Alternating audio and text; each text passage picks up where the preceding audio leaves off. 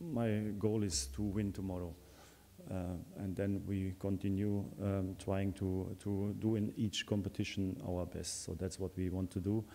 Um, um, so I, I, have no, no preference and always when we start a competition, we try our best to, to reach finals or to be the best team in this competition. The approach is very clear, so we want to uh, reach the final four in this uh, competition. So it's a new competition, a different competition.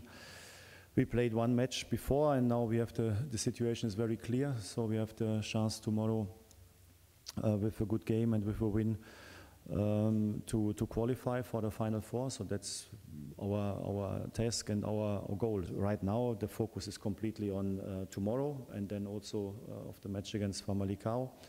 Um, and all the other things that can anyway um, happen um, after the 1st of January.